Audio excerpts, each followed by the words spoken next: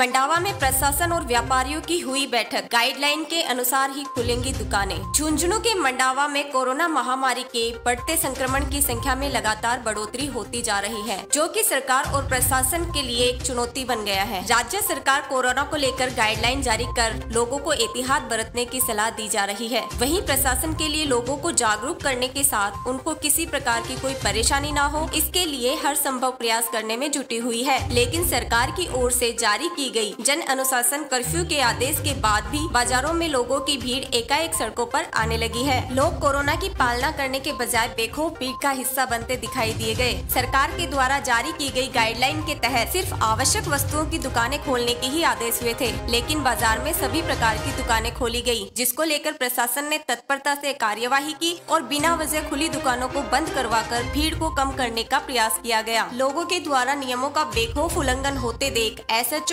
महावीर सिंह ने थाना परिसर में तत्काल व्यापारियों को बुलाया और सख्त हिदायत देते हुए दिशा निर्देशों की पालना करने के लिए पाबंद किया और कहा कि अगर ऐसा नहीं हुआ तो उनके विरुद्ध सख्त कार्यवाही की जाएगी।